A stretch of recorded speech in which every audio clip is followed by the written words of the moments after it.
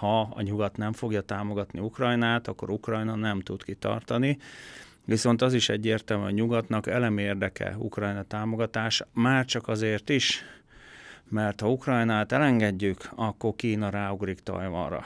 Ha Ukrajnát elengedjük, akkor a jó Isten tudja, hogy az iráni vezetés mit fog csinálni. A következő év arról fog szólni, hogy itt nagyon komoly orosz csapaterősítések lesznek, amire az oroszok azt mondják, hogy uraim, válasz a NATO-nak a lépésére. Moszkvának elemi érdeke a nyugat meggyengítése. Tehát akár az EU-nak a bomlasztása, akár a NATO-nak a gyengítése, nem is tehet mást. Tehát erőt kell mutatnia, ha nem katonailag, akkor máshogy. Ukrajna mindenképpen területveszteséget fog szenvedni, tehát ez, ez Oroszország nem fog elfogadni, hogy semmit nem kapnak. És ebben négy oblasz benne van, tekintettel, hogy most már az alkotmányba is bevették, olyan területeket is befoglaltak az alkotmányba, ami gyakorlatilag nem tartozik hozzájuk. Folyamatosan frissülő tartalmainkért iratkozzanak fel a csatornánkra. Kezdünk! Tisztelettel köszöntöm Önöket a Mandiner világrend című műsorának ez év utolsó adásában. Maráci Tamás vagyok, a Mandiner újságírója, mai témánk pedig az ukrajnai háború, annak is a tanulságai tévvégén, 23-as év latogatásával zárjuk az évet. Két vendéget hívtam az adásba, két biztonságpolitikai szakértőt, akik katonai és biztonsági szempontból fogják megvilágítani a témánkat. Kaiser Ferenc urat, a Nemzeti Közszolgálat Egyetem docensét, és Kis Benedek József urat, a Milton Friedman Egyetem és a NK-nak az oktatóját. Köszönöm szépen, hogy bejöttek hozzánk. Jó napot, Jó napot kívánok! Köszönöm szépen én is, és egy idézettel indítanám, nem pontos idézet, egy összefoglalás az Institute for the Study of War nevű intézménynek a honlapján egy friss tanulmányt láttam, amerikai-ukrán szakértők a neve, neveik alapján, és nyilván a, a hangulata is a tanulmánynak egy amerikai szempontot sugal, de egy fontos szempontot, és kérem, hogy reflektáljanak erre, ez a jövőről szól. Négy szenáriót vázol fel a tanulmány, hogy milyen kimenete lehet az ukrajnai háborúnak a közeljövőben. És a legfontosabb állítás az az, hogy ha Amerika és az EU kiátrál Ukrajna mögül, akkor az ukrán hadsereg jelenlegi állapotában nagyon gyorsan beomlana, Európa pedig egy nagyon súlyos biztonságpolitikai helyzetbe kerülne, mégpedig úgy, hogy az oroszok a tanulmány szerzői szerint nem állnának meg mondjuk Közép-Ukrajnánál, hanem egészen elmennének a nyugati határokig, a NATO határokig, és még ott is fenyegetést jelentenének az EU számára. A tengeri kijárat Ukrajnának automatikusan megfosztódna, egy torzó maradna belőle, és az EU és a NATO pedig egy olyan Ukrajnát kapna, ami használhatatlan állapotban lenne. Kérem egy reflexiót erre. Hát én úgy gondolom, hogy nem ez az első jóslás a szabad ilyenbe be, belemenni. Több alkalommal tettek már ilyet, az előző is pont hat múltból állt, az se jött be. Ezt meglátjuk, hogy ez olyan, hogy fog végződni. Én úgy gondolom, hogy azért most előre látni a hosszú időn keresztül nem lehet Ugyanakkor azt is figyelembe kell venni, és lehet, hogy ezt az intézet munkatársai nem vizsgálták, hogy mindkét félnek, most én proxy háborúról beszélek, és az amerikaiakról beszélek, illetve a oroszokról beszélek. Ukrajna itt a szenvedő alany. Itt arról van szó, hogy Oroszország el tudja érni azt a célt, amit még a háború előtt megfogalmazott a Putyin, nevezetesen Ukrajna meggyengítése. Elfoglalásáról nem volt szó, arról viszont igen a denátatlanítás és egyéb politikai átállás megvalósítása Ukrajnában, ezek célok voltak, nem változtak. Ezt Putyin most mondta a legutolsó üzenetében és legutolsó értékelésében. Itt azt nem tudjuk, hogy most mindenki a végső cél, tehát megállni a négy oblasztnyál, természetesen a Krimfélsziget az, az ő értelmezésük szerint az Ukrajnához, illetve Oroszországhoz tartozik, míg az amerikai részről ugye Oroszország meggyengítése volt kezdettől fogva a cél. Ennek része volt az, hogy a NATO csatlakozott az amerikai elgondoláshoz, és a tét, a kérdés az, hogy ki nyeri ezt a háborút. Az amerikaiak nyerik, vagy az oroszok nyerik. Nyilvánvaló, hogy a vége, én úgy gondolom, nem vagyok jósnő, és előrelátó képességgel sem rendelkezem, de úgy gondolom, hogy egyik fél sem fogja ezt megnyerni, ezt a háborút, de mindkét fél azt fogja mondani, hogy mi győztünk. És így fog majd valamikor befejeződni. Ennek a pontos idejét most még nem lehet megmondani, de közeledünk azon időszak felé, amikor elfáradnak. Mindkét fél elfárad. Tehát nem lehet azt mondani az oroszokról, hogy ugyan van igen erős hadserege, ami az ő deklarációk szerint erős, a nyugatiak szerint nem feltétlen erős, ugyanakkor azt is lehet látni, hogy most már ugye a második év végéhez közeledünk, és nem foglalták el azt a négy oblasztjot, amit egyébként célú tűztek ki eredetileg. Tehát egy erős hadseregtől az ember nem ezt várná. Ugyanakkor az oroszokkal szemben álló ukránok megkapják a támogatást, bár ebbe a tanulmányban le van írva, hogy ha nem kapják meg, akkor elveszett. Ezzel egyetértek. Ha Ukrajna nem kap támogatást katonailag, gazdaságilag, uram, bocsá, politikailag, akkor biztos, hogy elveszíti ezt az egész háborút, és utána oroszok diktálnak. Na most hol van a diktátum vége, azt nem tudjuk. Hol akarják befejezni, meddig akarnak elmenni. Számomra nem megnyugtató az, amit a Putyin utolsó beszédében mondott, miszerint Ogyessa az úgy egyébként hát egy orosz város most akkor benne van a célok között, hogy összeelfoglalása, benne van a Fekete-tengertől való megfosztása Ukrajnának, mert akkor tényleg ez a változat van, ami az egyik pontban szintén le van írva.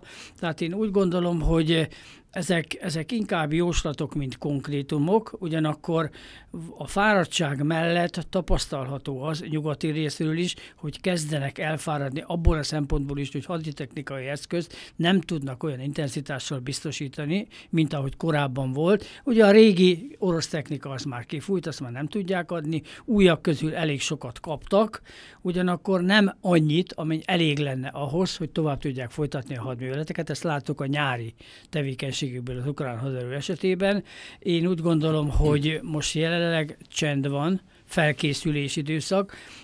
Természetesen harcok folynak, most már a terepre is jobban rá lehet menni, hogy megfagyott a terület, és látszik, hogy mozognak haditechnikai eszközökkel, nehéz haditechnikai eszközökkel, de inkább átteszik a tevékenységet a levegőbe, főleg drón támadásokkal, viszont azzal nem számolnak az oroszok, hogy a gepárdokkal, amit kaptak az ukránok a németektől, nagyon szépen le lehet lőni ezeket az iráni gyártmányú öngyilkos drónokat, amivel amivel nyilván eredményeket értnek el. Meglátjuk, hogy a tél folyamán mennyire tevődik át a hadművelet a tenger területére, tehát a Fekete-tenger területére. Hát ott azért az oroszok is gyengében állnak, mert kénytelenek voltak visszavonulni. Azok a támadások, amelyeket az ukránok indítottak, azért elgondolásra készítették az oroszokat, és látszik, hogy az oroszok a haditengerészet, Feri a nagy haditengerészeti szakértő, ő tudja, hogy hogy működnek itt a dolgok, de nagyon fejlesztik az oroszok a haditengerészetet. Ugyanakkor nyugatról azért kapnak információt, kapnak különböző haditengerészeti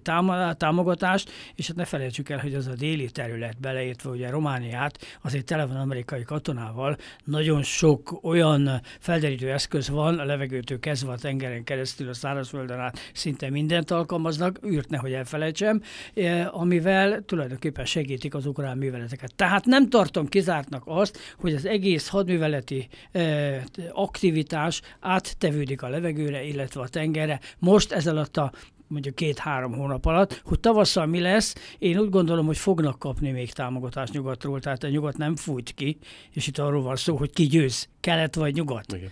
Azért mosolygok, mert ön te megválaszolta a leírt tíz kérdésemet előre. Hát, ebben a hosszú válaszában. Hogy köszönöm én, szépen, én, de én még visszatérünk. hosszú választ, tehát meg kell mondani, hogy egy perc legyen, vagy három óra. Teljesen jó, köszönöm szépen. Ezekre, ezekre a pontokra visszatérünk. Okay. Csak először még Ferencet megkérném, hogy akkor még a, visszatérve a legrosszabb forgatókönyvre, amire az amerikaiak számítanak. Én is abszolút egyetértek ezredes úrral abban, hogy a nyugat ezt nem fogja hagyni. Persze most ugye az Európai Unió közösen nem tudott támogatást adni, pénzügyi támogatást, de ez egy ország ellenállásán csúszott meg, és a tagállamok külön-külön biztos, hogy fognak adni. Az Egyesült Államokon belül ugye most a választási előkampány. Tehát nem szabad elfejteni, hogy jövő év novemberében elnökválasztás lesz. Ott minden erről szól már most. Ugye össze van kapcsolva az amerikai vitában két téma, plusz egy harmadik, ugye összekötötték nagyon ügyesen a demokraták Izrael támogatásával Ukrajna, tá, uh, Ukrajna megsegítését, viszont a republikánusok beemelték harmadiknak a déli határvédelmet és a migrációs kérdést. Ott emiatt csúszik a dolog, mert ebben a, ebben a két nagy párt, ebben a három kérdésben Izraelt kivéve, mert Izrael támogatása az vitán felül áll, a két másik kérdésben viták vannak, a nyugat nem fogja hagyni ezt, hogy ez bekövetkezzen, messze nem futottak ki az erőforrásaikból. Oroszország bruttó nemzeti összterméke 4000 milliárd dollár, ezzel szemben az úgynevezett globális nyugat, amiben én egyébként az Egyesült Államokat támogató Japán, Dél-Koreát, Ausztráliát és Új-Zélandot is beleveszem, meg majdnem 60 ezer milliárd dollár GDP-vel rendelkezik, tehát nekik ez az ukrajnai háború apró pénz. Picit vitatkoznék azzal ezredesül, hogy ezt a háborút azért az ukránok vívják, a, az oroszokkal, tehát ez nem egy amerikai-orosz konfliktus. Nyilván a háttérben ott az Amerika Egyesült Államok, Ukrajna, hogy egy republikánus szenátor nagyon szépen megfogalmazta, kicsit túl őszintén is, hogy apró pénzből ledarálja az orosz haderő támadó kapacitásait. Tehát teljesen egyértelmű, hogy ha a nyugat nem fogja támogatni Ukrajnát, akkor Ukrajna nem tud kitartani. Viszont az is egyértelmű, hogy nyugatnak elemi érdeke Ukrajna támogatás, már csak azért is, mert ha Ukrajnát elengedjük, akkor Kína ráugrik Tajvanra. Ha Ukrajnát elengedjük, akkor a jó Isten tudja, hogy az iráni vezetés mit fog csinálni. Egyelőre csak proxizgat, tehát egyelőre helyettesekkel támad, de ugye már most elérte azt Irán, a jemeni huti lázadók révén, hogy a globális kereskedelmet uraló tíz nagy hajós társaság közül hét már nem használja a Vörös-tengert és a Szuazi csatornát. Tehát nem csak Oroszországról szól ez a háború, hanem szól Kínáról, Iráról, meg az összes olyan észak például, az összes új, olyan úgynevezett latoráram, nevezzük őket úgy, ahogy az amerikaiak szokták, akik a jellegi nemzetközi rendet meg akarják borítani. És nagyon röviden, nyilván, ha Moszkva nyer, akkor egyrészt az Isten érgalmazzon az ukránoknak. Ugye Putyin az ukrán nép létét is vitatja, szerintem nincs is olyan. Egész biztos, hogy a Nyeper folyóig Oroszország viszi Ukrajnát. Valóban én is több helyen belefutottam abba is, hogy valószínűleg el akarja vinni az egész Fekete-tengernek az északi partvidékét, tehát megfosztaná Ukrajnát a tengeri kiárattól.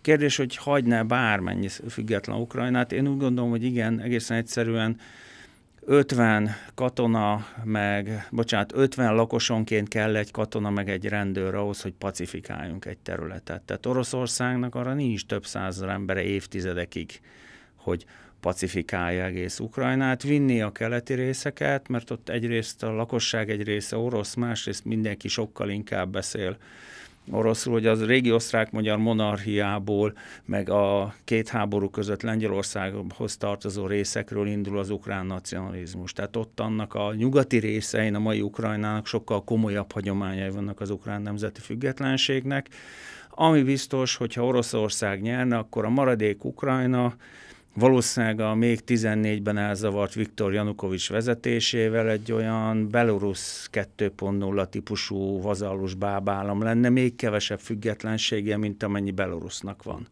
De ezt szerintem a nyugat nem fogja hagyni. Ez a tanul, még egy megállapítás a tanulmányból, hogy hogy ha Amerika tényleg bedobná a gyeplőt, és vele együtt az EU is utána nyilván nem bírná egyedül Amerika nélkül, akkor egy olyan szenárió állhatna elő, hogy Amerika egy olyan tűzoltási manőverbe kényszerülne, át kéne dobni egyáltalán a NATO szövetségesi kötelezettségek miatt Európában olyan kontingenseket, hogy a a NATO nyugati határára kiérkezett, Ukrajna területén kiérkezett orosz hadsereget föltartóztassa, és ahogy említették, Kína vérszemet kapna, a tanulmány azt írja, hogy ezt a két frontos háborút, ezt az elrettentő erőt két földrészen lehet, hogy ez Amerika kivérzéséhez vezetne, és akkor még nem beszélünk a közel-keletről. És ez írja a tanulmány, és kérem erre reagáljanak, hogy a jó megoldás mégiscsak az, bár pénzörlő, hogy Ukrajnát finanszírozni, mert ukrán katona, hát ugye ez egy kicsit cinikus megfogalmazás, ukrán katonák halnak meg ukrán területen, nem NATO tagállam területén, ahol nincs NATO kötelezettség. Ez még mindig az olcsóbbik és jobb verzió, az oroszokat ott tartani a sztyeppén, mint ö, európai katonákkal, NATO kötelezettségből, ö, mit hagytam ki, ö, amerikai... Kockáztat vagy nukleáris háborút. Vagy nukleáris háborút. Tehát ez, ez a kérdésem, hogy ez a nagyon rossz, amit látunk, ez a vérengzés, amit látunk most már másfél éve, ez még mindig a jobbik verzió, mint az, amit most említettem? A legjobb megoldás az lenne, hogyha megszületne a béke, uh-huh. és aláírnának egy megállapodást. Álljunk meg bárhol, akár a mostani négy megyénél, vagy rosszabb esetben, mondjuk Európa szempontjából, a Nyeper folyónál, de egyelőre sajnos ez nem téma. Uh-huh. Tehát sajnos a jelenlegi helyzetben a fegyverek ki a döntő szerep, mindkét fél így gondolja, vagy a érintett felek, akik ebben az egész küzdelemben részt vesznek. Én úgy gondolom, hogy a nyugati támogatás nem fog megszűnni. Én egyetértek felével azzal, hogy itt nem csak az Európai Unió országait kell számolni.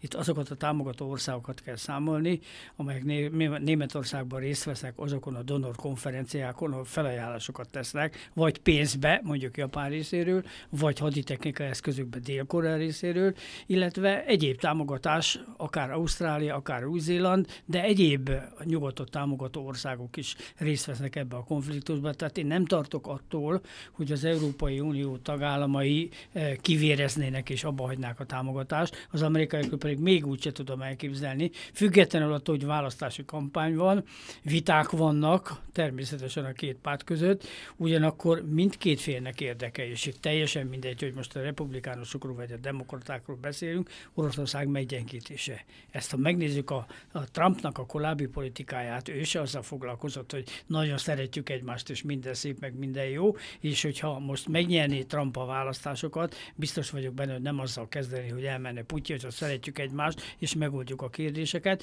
Más egy választási kampány, meg megint más egy politika, ami a választási kampányt fogja majd követni. Tehát itt Oroszországnak a kordában tartása szabad ilyen csúnyát, csúnya szót használni, illetve ő nekik van erre egy nagyon szép kifejezésük, meg a hidegháború után, óta a feltartóztatás politikája. A feltartóztatás politikája ma is folytatódik. Tetszik vagy nem tetszik? Úgy gondolom, hogy ebben egyetértés van. Na most a nyugati országok részéről azért el lehet mondani azt, hogy igaz, hogy vannak gazdasági problémák, a különböző szankciók következtében elég nehéz helyzetbe került több országnak a gazdasága, és itt nem kis országokról beszélek, hanem nagy országról, mondjuk egész konkrétan Németországra, Belgiumra, illetve Franciaországra gondolok, de abban nincs egyáltalán vita közöttük, hogy segítsék Ukrajnát, vagy ne segítsék, támogassák, vagy ne támogassák, és ez még folytatódik, addig Ukrajnának uh, folytatódik a háború is. Nem adnak annyit, amivel nagy győzelmet lehetne arra aratni. Tehát az látszik, hogy átgondolják azt, hogy most mit adjunk, mennyit adjunk, de azért látjuk azt, hogy a HIMARS-hoz jönnek a lőszerek, látjuk azt, hogy az F-16-os pilóták, ukrán pilóták készülnek több nyugat-európai országba, tehát én azzal számolok, hogy itt tavasszal be fog indulni egy újabb uh, hadművelet sorozat, hogy aztán ennek mi a célja, azt nem tudom, lehet, hogy jobban átgondolják, mint tavaly tették, ugye azzal, hogy ki jutunk egészen az Azovi tenger vonaláig, lehet, hogy más célokat fognak megvalósítani, és esetleg nem feltétlenül a szárazföldön történik a támadás, és nem mennek neki annak a megerősített erődrendszernek, amit az oroszok nagyon szépen kiépítettek, fognak találni egy másik megoldást. Esetleg Ferenc akar erre reagálni. Ugye az eredeti kérdés az volt, hogy ez a jobb verzió a két rossz közül, hogy Ukrajnába eldönteni Oroszország gyengítését, mint a NATO határán. Később. Tulajdonképpen már régóta zajlott egy vita a nyugati országok vezetésében, nevezzük München effektusnak. 14 után is a nyugat egész engedékeny volt Oroszországgal. 22. február 14-e volt az, amire azt mondták, hogy nem akarunk egy újabb világháborút. 14-15-ben a németek, nevezzük nevén a dolgot, szépen leboltoltak az oroszokkal az ukránok kárára, az olcsó orosz energiáját cserébe, nem azt mondom, hogy elszabotálták, de az akkori embargós politikátnak a méregfogait a németek szépen kiúszkodták. Hozzá kell ez nem csak német gazdasági érdek volt, de hát ugye Európa gazdaságában azért a németek a legmérvadóbbak. Viszont február 14-én ugye óriási változás, bocsánat, 24-én óriási változás történt, mert mindenkinek eszébe jutott, hogy már volt egy ilyen agresszor hatalom, akinek egyre többet és többet engedtünk, és sosem volt elég. Tehát nagyon sokan megijedtek, hogy oké, okay, Putyin viszi Ukrajnát, az nyílt volt, ha Ukrajna megy, akkor Moldva egy napon belül rossz kézbe kerül, és akkor lehet, hogy rápróbál a Baltikumra. Tehát nagyon sokan ezt az egészet úgy tekintik, mint egy világháború megelőzését. Nem mondom, hogy igazuk van, mert vitatárgya, hogy Oroszország vajon megtámadná a NATO-t. Én személy szerint nem hiszek benne, nem csak azért, mert Putyin a legutóbbi beszédében azt mondta, hogy ő úgy érzi, hogy nincs konfliktus, hogy ne lenne. Jelentős feszültségek vannak, hanem egészen egyszerűen azért az oroszok is pontosan látják, hogy mire képes jelenleg az orosz haderő. Hozzá kell tenni az ukrán háború kezdetén, ezt az még nem lehetett látni. Tehát akkor megindul az orosz haderő, mindenki azt hitte, hogy itt heteken belül Kiev is a kezükre kerül, meg Ukrajna nagy része. Tehát ez egyrészt kellett az, hogy az ukránok akarnak, és mint kiderült, tudnak is harcolni, másrészt meg kellett a nyugati támogatás. Ez most a kisebbik rossz. Nyilván a legjobb az lenne, ha nem is lenne háború, de abszolút egyetértek ezredes úr abban, hogy az ukrán meg az orosz álláspont jelenleg nem igazán mutat közös metszeteket, tehát a két fél abban sem tud le, leülni tárgyalni, hogy mi az a minimum, ami a két félnek kellene. Nincs jelenleg olyan közös álláspont, ami alapján egyáltalán megkezdhetnének egy tűzszüneti tárgyalást megbeszélni, hogy abban sem értenek egyet, hogy miben nem értenek egyet számos szempontból, hogy úgy mondjam. És nyilván a nyugatnak meg elem érdeke, hogy ne hagyja veszni Ukrajnát, mert többet is veszíthet, mint Ukrajna. A, igen. Azt hiszem nem lehet, nem vagyunk igazságosak akkor, ha nem veszik figyelembe az orosz aggályokat, mert azért azok uh-huh. is vannak. Ez pont ezt akartam felhozni, de... Éreztem. A helyzet az, hogy meg kell nézni a Vilniuszi NATO csúcs találkozót, meg kell nézni azokat a döntéseket, amik ekkor és korábban születtek. Ennek a lényege az, hogy a keleti szárnyat meg kell erősíteni. Ebben a keleti szárny megerősítésében vastagon benne vannak az Amerikai Egyesült Államok részéről, ugye látjuk azt, hogy és hát én mivel koromnál fogva átéltem azt, ami volt a hidegháború alatt, az erők megerősítése Európában, Amerikából történő átszállítás, közvetlen sikerült követni ezeket az eseményeket, és hát látom azt, hogy ugyanaz ismétlődik most is, technika itt van, embereket folyamatosan rotálják, nagy számú amerikai katona van jelenleg Európában, Európa keleti részében, Lengyelország, Balti országok és a Románia. többi. Románia, igen, ezt külön ki kell emelni. Románok mindent felajánlottak annak érdekében, hogy az amerikaiak ott legyenek. Na a lényeg az egészben az, hogy ez nyilván zavarja az orosz vezetést. Zavarja az, hogy két országgal, másfél országgal gazdagodott a NATO, Finnországra és Svédországra gondolok. Zavarja azt, hogy a finnek elfogadták azt, hogy oda most amerikai erőket fognak telepíteni. Korábban ugye erről szó nem volt semleges országról lévén szó. Még előtte a svédek ugyanezt megtették, tehát ott azt hiszem 17 bázist adtak át, vagy kínáltak fel. Egyik ország 17, másik 21 bázis kínált fel az amerikaiaknak, amivel az amerikaiak biztos, hogy fognak élni. Tehát itt az északi rendkívül kényes területen meglehetősen sokan lesznek. Erre egészen biztos vagyok, hogy az orosz vezetés reagálni fog, mint ahogy jelezték, ugye a négy katonai közvetet, bocsánat, öt katonai közvetet ki fogják bővíteni a Leningrádival, és akkor lesz hat katonai közvete Oroszországnak. Na most nyilván ez nem egy papíron létező szervezeti forma lesz, hanem ott a csapatokat fognak telepíteni. Tehát itt a, a, egyébként a nem, nem kifejezetten barátságos katonai szempontból Baltikum tovább fog erősödni, és hát majdnem, hogy átveszi annak a főiránynak a szerepét, ami most ugye meg második világháborús, meg azóta mindig Lengyelország, illetve Németország volt NDK területén húzódott, tehát tipikus háborús területek, amelyek háborúzásra alkalmasak. Ugyanakkor megerősítették a déli területet, tehát ezt is figyelembe kell venni az oroszoknak, meg azt is, hogy a rakétavédelem területén most megint területre léptek. Tehát Lengyelországban működik a bázis, Romániában, Deveselúban már régóta működik az az amerikai bázis, amely gyakorlatilag képes uh, típusú rakétákkal Oroszország ellen föllépni, ha akar, még akkor is, hogy ezt eredetileg csak amerikai bázisnak tervezték, és azt mondták, hogy a közel-keleti érkező veszélyt. Na most én pontosan tudom, és az irániak mondják azt, hogy az ő rakétájuk maximum elérhetnek eh, Bulgária keleti részéig. Hát a Kárpát-medencét uh, esetleg a legnagyobb Nagyon nagy jó indulattal lehet, tehát nem az ottani veszélyre készültek ezek a rakéták, és nem szabad butának nézni az oroszokat, és pontosan tudják, hogy ezt miért azért telepítették ide, és főleg Lengyelországban, még a Romániát meg lehet magyarázni, Lengyelországot már nehezebb. Már van Na most erre reagálnak, és ne, ne lepődjünk meg túlzottan, a következő év arról fog szólni, hogy itt nagyon komoly orosz csapaterősítések lesznek, amire az oroszok azt mondják, hogy uraim, válasz a NATO-nak a lépésére. Igen.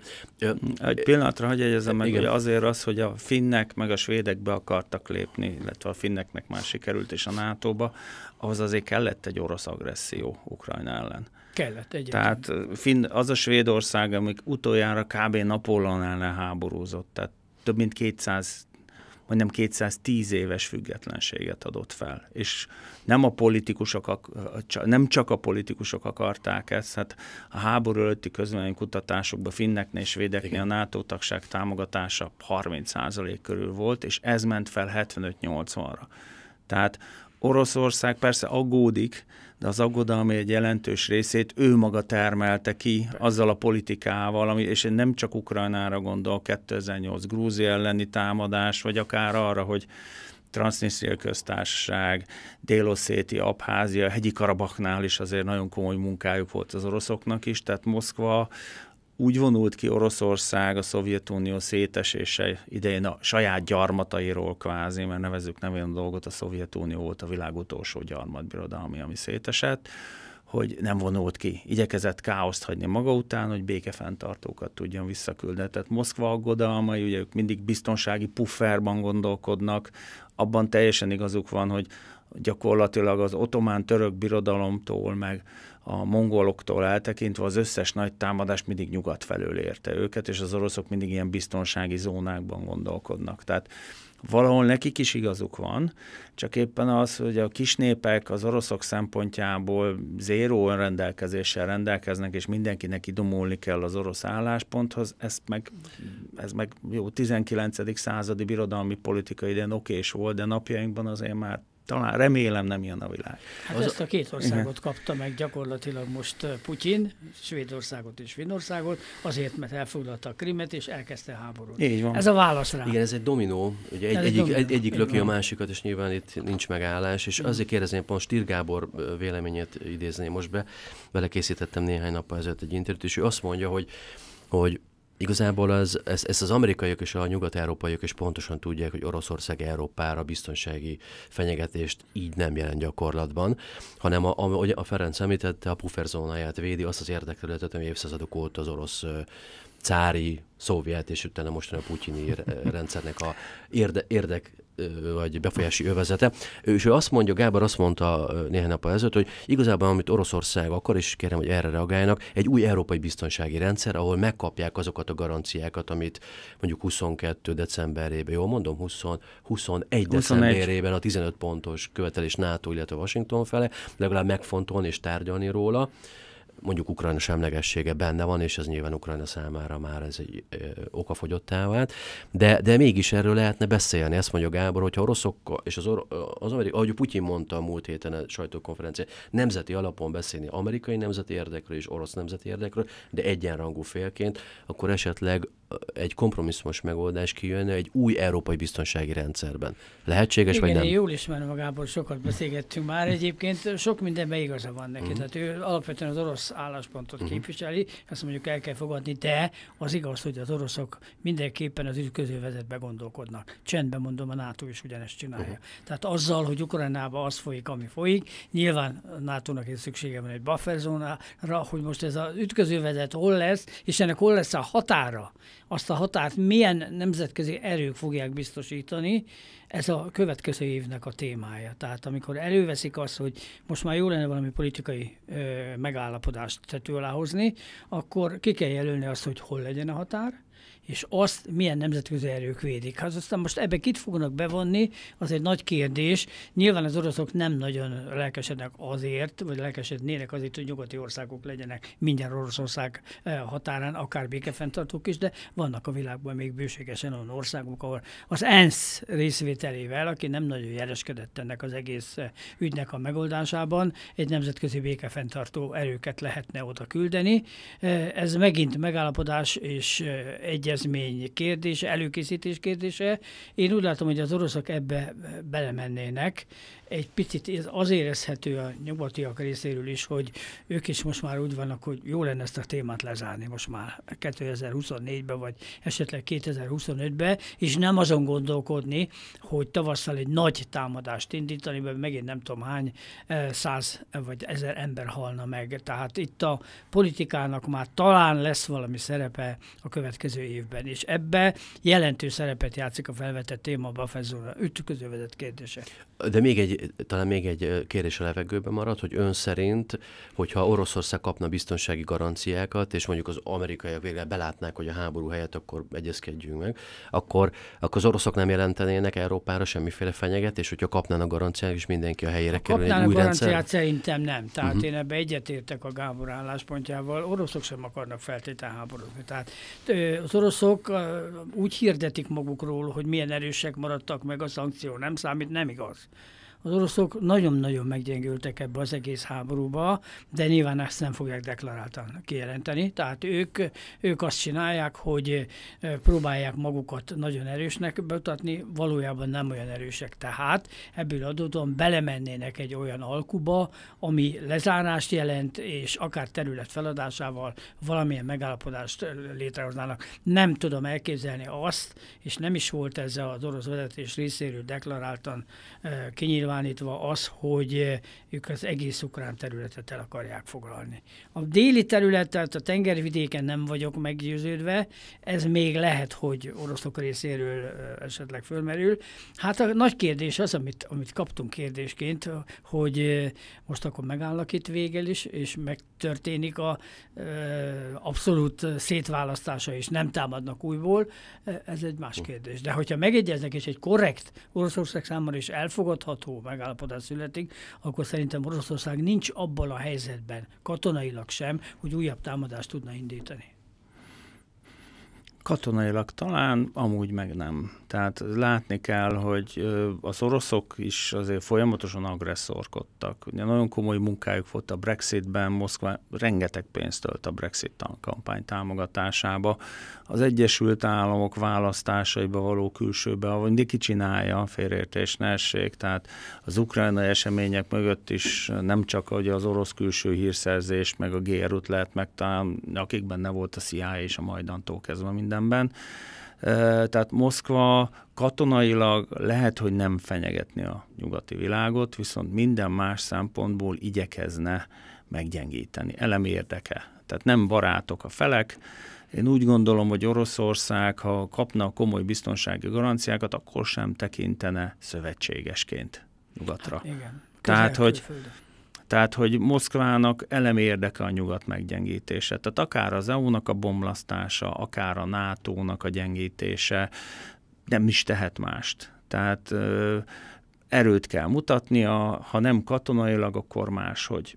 Nyilván kapna komoly biztonsági garanciákat, de nem fog nagyon egyszerű okból kifolyólag, mert ha megnézzük, az ezredforduló óta az oroszok léptek fel mindig agresszorként, katonailag. Lehet, hogy közben gazdaságilag, meg kulturálisan és számos szempontból az úgynevezett puha erő eszközeivel a nyugat szépen lassan bement az orosz zónába, de az elmúlt időszakban a katonai agressziót mindig Oroszország követte el.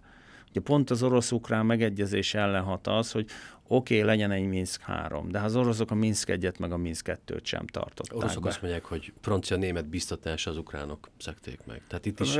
Persze, ja, ez a szokásos a, kommunikáció. A tehát hozzá kell tenni, hogy meg, aláírták a Minsk 1 az oroszok azért ott Dél-Ukrajnába egyenesre vették a frontot, tehát a tűzszünet után egy hétig még mentek előre, hogy azt az ukrán gyakorlatilag éket felszámolják és aztán utána elkezdtek mutogatni az ukránokra, hogy ők provokálták ki, hogy mi megtámadjuk őket.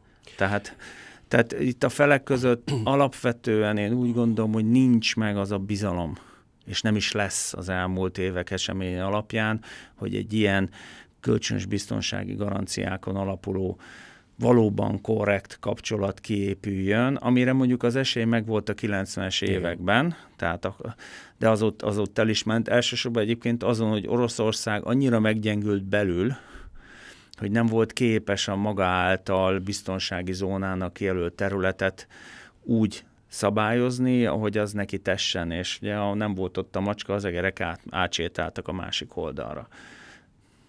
Igen, én itt, én itt úgy látom, hogy a közel-külföld meghatározó Oroszország számára, tehát a volt Szovjetunió tagállamai. Na most azzal, hogy Georgiát meghívták az EU-ba, már ez korábban megtörtént, ugye most megerősítették Moldova esetében ugyanez a helyzet, Ukrajna esetében ugyanez a helyzet. Én úgy gondolom, hogy ez egy irritáló dolog lesz Oroszország számára. Tehát itt, itt azok a kérdések, amik egyébként levegőben vannak, még jobban fognak érvényesülni a jövőben. Oroszországnak tabu a közel-külföldnek a stabilitása. Ha az nincs meg, akkor annak fog valami, valami ellenlépést tenni, hogy ezt megakadályozzanak érdekében, e, és hát nyilván ez a fő cél, és nem a e, nyugat-európai országoknak a megtámadása. Ha megnézzük a nyugat-európai országok között, csak egy mondat. Lengyelország. GDP-nek lassan 4%-át fordítja a haderő Nagy, nagy haderőre. Erősebb, mint Franciaország. Erősebb, mint Németország. Erősebb, mint Németország. Na most akkor ez hogy fogja fel az orosz vezetés? Próbáljuk magunkat beleképzelni Putyin helyébe. Tehát ő azért azt a területet, ami ugye jelenleg Oroszország, illetve Ukrajna erősíteni akarja. Igen. De nyilvánvaló... a lengyel fegyverkezés, meg a csodálatos, több száz éves harmonikus erős szarkazmussal lengyel-orosz történelmi kapcsolatok. Igen. Tehát a lengyelek még bízzanak az oroszokba, és nem csak Katyinról beszélünk, hanem Semmi itt több száz év irgalmatlan orosz megszállásáról. Tehát itt, itt bármilyen viszonylatban a legminimálisabb bizalom is hiányzik jelenleg a felek és között. általában Európában hiányzik, meg a világban, mert azok a megállapodások, amelyek a hidegháború idején születtek, nincsenek újakat kell létrehozni. Ez viszont idő kérdése, ja, és bizalom kérdése. Ha már az idő elhangzott, akkor talán ezzel menjünk még tovább, hogy kinek dolgozik az idő.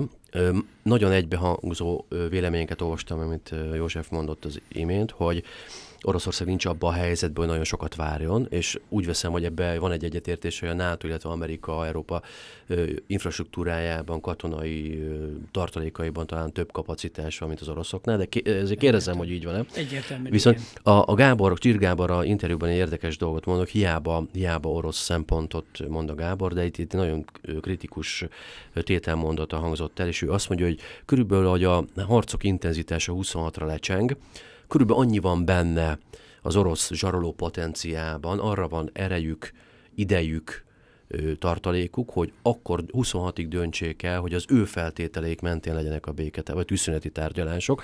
Utána már középtávon inkább a nyugatnak dolgozik az idő. Az a kérdés, hogy nyugat ezt a két-három évet tartalékkal, támogatással kibekkeli. Ebben egyetértenek? Tehát az oroszoknak rövid távon kell dönteniük? Én ebben egyetértek, mert azért nem szabad azt hinni, hogy a szankciók azért nem hattak Oroszországra. Így, pont ezt azt megmondtuk az első percben, hogy rövid távon nem, de hosszú távon igen. És ez vonatkozik az energiahordozókra, és tudjuk azt az elmúlt tíz év, legalább tíz év, hanem több tapasztalat alapján, alapján, hogy az energiahordozókból jövő bevételt Oroszország a fegyverkezésre fordította. Na most ebből kevesebb jön. Hiába adják el nyomotáron, azért annyi nincs, hogy el tudják adni, nem beszélve arról, hogy ezekhez csővezetéképítés is, is szükséges. Tehát én úgy látom, hogy Oroszország hosszú távon képesség szempontjából gyengélni, gyengékedni fog. Én nem tudom ezt elmondani nyugatról. Látjuk, hát ugye Magyarországon is hányszor mondták azt, hogy Németországban egy gyertyával fognak fűteni, meg világítani,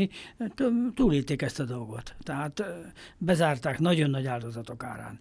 Mondjuk buta lépés volt az, hogy megszüntették az atomerőművet, ez legyen a németeknek a belügye, ugye japán tapasztalatok alapján döntöttek így főképpen, de azért az orosz gázt azt hát nélkülözik, Olcsó. és helyette, Olcsó. helyette mást fognak fiába. Aztán persze ki tudja, lehet, hogy egy pár év múlva jön valami megállapodás, és annak része lehet az is, hogy ezt a csővezetéket, ami megsérült, mert abból még azért van, ami működőképes. Nem minden sérült, meg nem minden tönk, ment tönkre, meg lehet javítani. De ez, ehhez kell egy bizalom, és kell egy jó kapcsolat Oroszországgal. Itt nem tartunk. Igen. Abszolút egyetértek, tehát a szankciók lassú gyilkosok. Tehát 14-15 után azok a nagyon mérsékelt nyugati szankciók azt elérték, hogy az orosz gazdaság lényegében stabil recesszióba legyen. Tehát, hogy negatív fejlődés mutasson, vagy stagnáljon.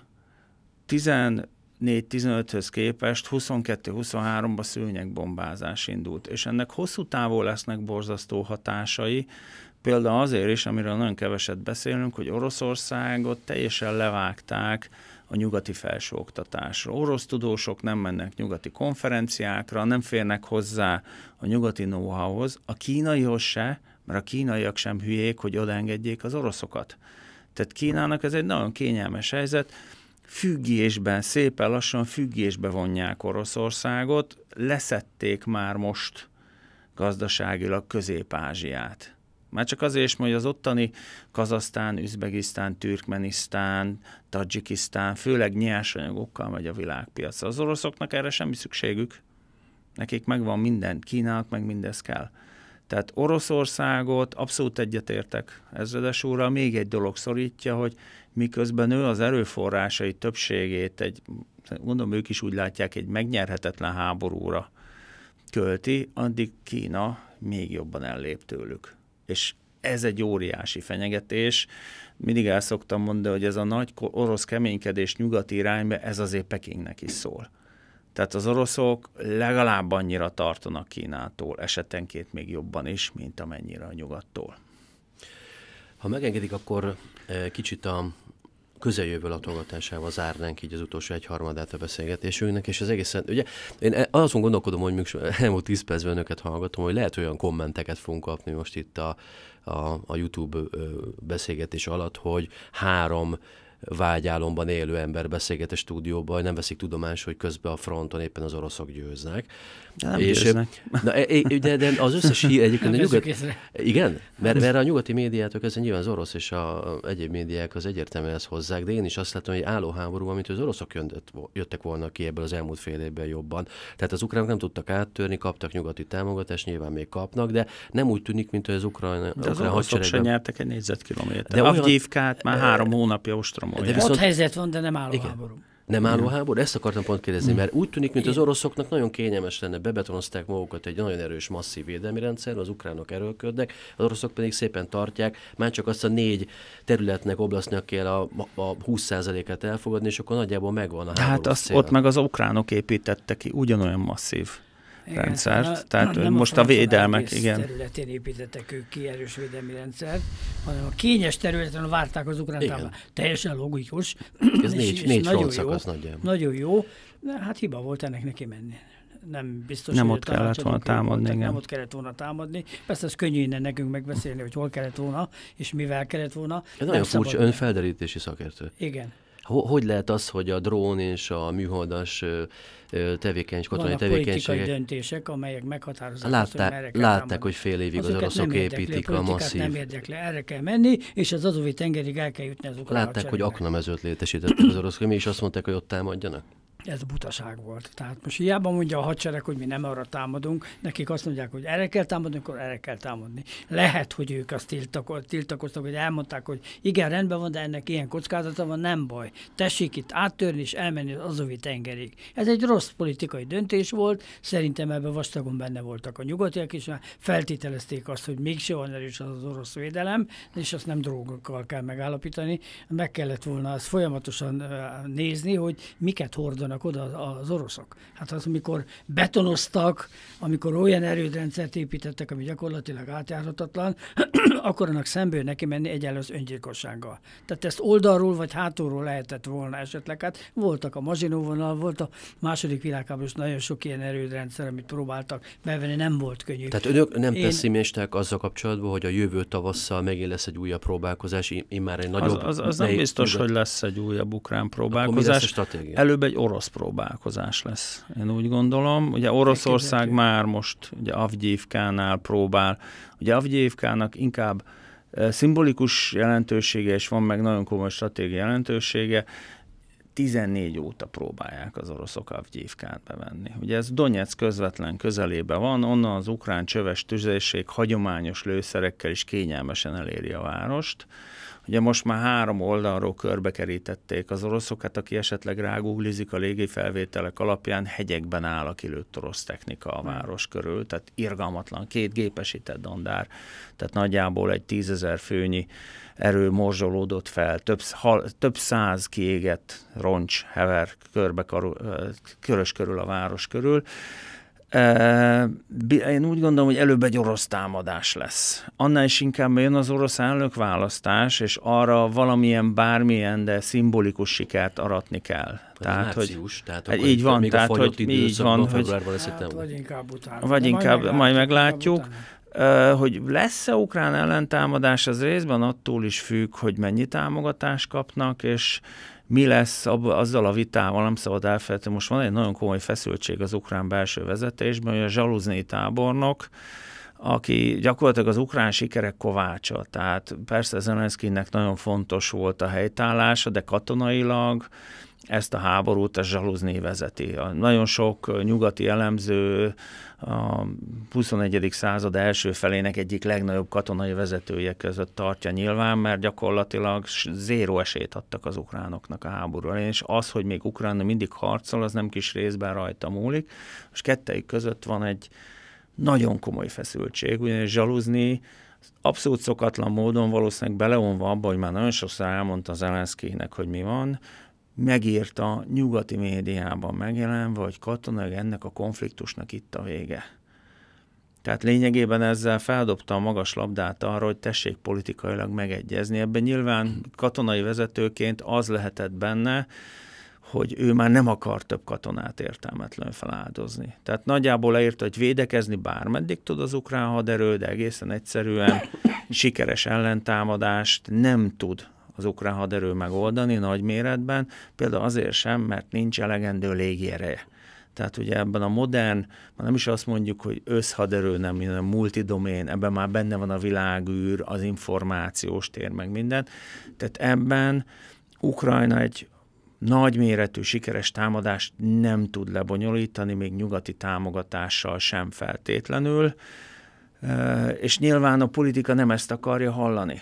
Zsaluznénak már eddig is több vitája volt az elnökkel, nem lehet vele mit csinálni, mert hogyha ugye Zelenszkinek nincs sikere, nincs reális politikai ellenlábas a jelenleg Ukrajnában, de ha kiteszi Zsaluznét, nyugdíjaz, akkor rögtön lesz valaki, aki még nála is sokkal népszerűbb. Tehát jelenleg az elnök és a vezérkari főnök kapcsolata, hát finoman szólva is feszült, és emiatt például nem lehet tudni, hogy mik lesznek az ukrán célok, mert a politika akar valamit, az első számú katona képében meg szemben a realitás. És nyilván ebben nagyon komoly szerep lesz a nyugatnak, mert amíg ez a húz meg erez meg van, hogy adunk támogatást, meg nem adunk, addig zsaluzni még inkább tudja azt mondani, gyerekek, amíg az sem biztos, hogy kapunk pénzt, meg felszerelést, mi az Istennek ölessen meg a fiaimat. Bekkelünk, ugye a védelmi vonalak mögött azért az ukránok eddig nagyon ügyesen feltartóztatták az oroszokat, aztán meglátjuk. De terület visszafoglalás lenne a cél. Ugye hát, a 91-es határok a nagy, hát az, az, a, poli, az a politikai cél. De az, az, a politikai cél. A katonai realitás meg nem az. Igen. Ugye Zsaluznéra azért hát rágott be Zelenszky, mert ezt ő, ezt ő lemerte írni. De Először. meg kell magyarázni majd így az ukrán van, népnek valamikor a közeljövőben, De az a baj szerintem, irreális a nagy cél. Hogy az ukrán nép már kezdi a saját bőrén érezni. Tehát, hogy azért az a két év háború, most már lassan két év, az leginkább rajtuk csattant, és az oroszok nagyon ügyesen, bár egyébként a nemzetközi hadijoggal nem igazán összeegyeztetett módon eléggé brutálisan a civil infrastruktúrát is támadták. Jelenleg is a drónokkal leginkább nagyvárosokat lőnek. Tehát ez kicsit a második világháborús terrorbombázásokhoz hasonlít. Istennek hála nincs elég eszközük rá az, az oroszoknak, hogy olyan volumenben ezt meg tudják tenni, és amit mindig elfelejtenek, hogy Ukrajna rengeteg nyugati légvédelmi rendszert kap. Tehát már csak azért, mert a nyugat Irán ellen is készül, Kína ellen is készül. Nem szabad elfelejteni, hogy a háborúban mindenki rengeteg tapasztalatot szerez. Tehát a nyugat minden új fegyverét letesztelte Ukrajnába, miként az oroszok is leteszteltek, amit tudtak, Kína meg a háttérből így jegyzetel. Tehát most mindenki tanul, mert ez az első igazán modern, nagyméretű háború a 21. században. Nem élem, nem is lesz több, de hát ez abszolút hiú remény biztos, hogy lesz. De itt most egy csomó területen, nem azt mondom, hogy gyökeres változások lesznek, de jelentős az átalakulás. Már most nagyon komoly irodalma van az ukrán háborús tapasztalatok feldolgozásának. Igen, én egyetértek Ferivel, úgy látom, hogy az ukránok most átmentek védelembe, és ezt deklarálták is. Tehát ők most támadó hadműveletet nem hajtanak végre, kifejezetten védelemre rendezkedtek be, és úgy gondolom, hogy ez a téli időszakban ez, ez megfelel majd a valóságnak.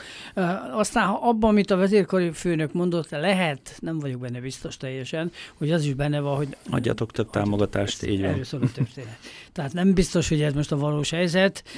ha már politika próbál, próbálkozik, ugye látjuk azt, hogy a, a ukrán elnök egyik országból a másikba megy, na most ezt megtámogatja még a vezérkerülfőnök, hogy emberek, ha nem adtok, akkor nagy baj lesz, és el fogjuk veszíteni a háborút, amiben ti vagytok a hibások, mert nem támogattok. Ez a tanulmány is, amit idéztem az adásán, lehet, hogy ennek az eszköze szintén. Így van, hogy... így van, tehát ezt így is fel lehet fogni, nem biztos, hogy ez most, ez most teljesen egy önálló kezdeményezés a vezérkerülfőnök részéről, mert ugye egyébként meg akkor váltják le, amikor akarják. Láttunk már ilyet, sőt nem csak, hogy leváltják, hanem el is tüntetik, erről van szó.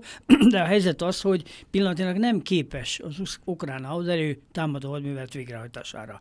Pillanatilag a nyugatiak részéről van egy visszafogottság, és ebben benne van az amerikai választások, benne van az, hogy a, a hadipar területén át kell állni új eszközök gyártására, ez nem megy egyik napról a másikra. Tehát nagy kérdés az, hogy a jövő éve nyarára, tavaszára mennyire tudnak támogatást adni ukránoknak, abból a szempontból, hogy egy nagyobb hadműveletet tudjanak indítani. Most jelenleg kizárólag védekezést folytatnak, az oroszok pedig mozgósítanak, szállítanak a technikai eszközöket, tehát készülnek arra, hogy támadást hajtsanak végre.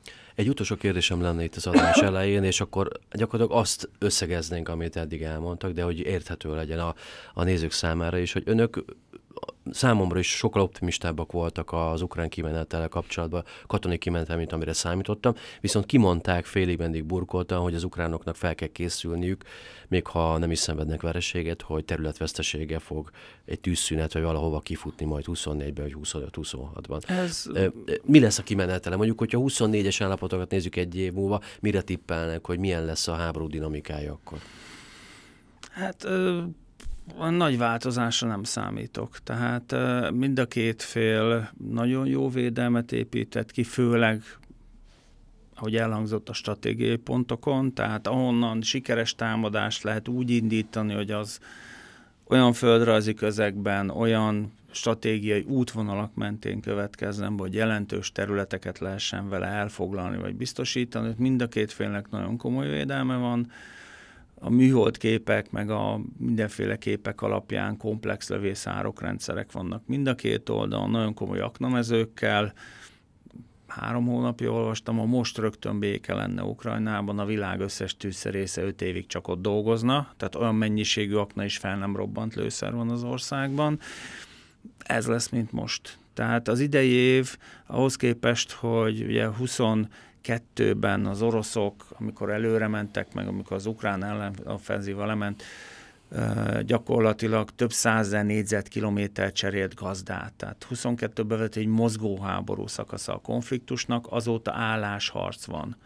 Tehát azóta zömmel a védelmek dominálnak, és mind az orosz, mind az ukrán védelem nagyon jól vizsgázott ebből a szempontból. Mind a két fél csak minimális teret tudott nyerni, és valószínűleg én úgy gondolom, hogy ha a konfliktus ebben a dinamikában megy tovább, ugye nagy kérdés, ha Moszkva mondjuk mozgósít több százezer tartalékos vagy egy-két milliót, amit nem fog megtenni szerintem, mert az első 300 ezer fős mozgósításra kb. egy millió orosz fiatal férfi és zömmel értelmiségiek a középosztály, mérnökök, orvosok, tanárok, informatikusok dobbantottak, és a többségük azóta már nyugaton él és dolgozik, tehát maximum családlátogatóba megy haza majd a háború után, hogy nehogy besorozzák. Ezt nem fogja megtenni, akkor minden marad úgy, ahogy eddig. Ugye többször, nem csak én, de én is többször loptam ugye Remarknak a híres regényét egy kicsit aktualizálva, hogy keleten a helyzet változatlan. Uh-huh. Én úgy gondolom, hogy Ukrajna mindenképpen területveszteséget fog szenvedni, tehát ez, ez Oroszország nem fog elfogadni, hogy semmit nem kapnak. És ebben négy oblasz benne van, tekintettel, hogy most már az alkotmányba is bevették, olyan területeket is befoglaltak az alkotmányba, ami gyakorlatilag nem tartozik hozzájuk, de ezt engedni kell nekik. Ha engedik, akkor létrejöhet egy megállapodás a jelenlegi helyzetnek a stabilitásával, nem mennek előre a Gyeper vonaláig nagy valószínűséggel, hanem a négy oblaszt, és természetesen a Krimfélsziget orosz kézben marad, és akkor itt valami határolat fognak kijelölni. Ez, ez egy lehetséges változat, nagy fogadást nem kötnék rá, de benne van a lehetőségek között. Csak ugye itt is az a probléma, hogyha például a Herszont odadják az oroszoknak, a békét cserébe, akkor Moszkvának rögtön lesz egy hídfője a Nyeper nyugati partján. Én ebbe az ukránok részéről soha büdös életben nem mennék bele, mert okay. onnan csak egy ugrás Odessa. Tehát, hogy már az is vitatárgy, hogy a jelenlegi frontvonal legyen esetleg egy demarkációs és tűzszeneti fonal, tehát egyfajta dél-koreai típusú Paminjon, vagy tényleg a közigazgatási határok, mert attól az oroszok a legtöbb oblaszt esetén még Luhansznál úgy, ahogy ott azt hiszem 90% fölött van a kezükben, de az összes többinél nagyon messze van ettől. Köszönöm szépen. Ott az atomerőmű kérdése, tehát van hát egy jó pár igen, kérdője. Igen. Most itt a, megbeszéltünk néhány dolgot, és tíz másikat feltettünk kérdésnek, amire majd jövőre fogunk válaszolni. Köszönöm szépen a beszélgetést. Köszönjük szépen. Köszönjük szépen, és ünnepeket, békés boldog, boldog ünnepeket Önöknek is, és mindenkinek, aki Köszönöm nézi szépen. a műsort. Én is a kedves nézőknek ugyanezt kívánom, boldog karácsonyt jövő évet, és hát a következő adásunk az január közepén lesz, úgyhogy addig nem találkozunk, de jó pihenést. Viszontlátásra, viszontlátásra. Ha tetszett a videónk, iratkozzanak fel a csatornánkra, és kövessék a Mandinert minden lehetséges fórumon.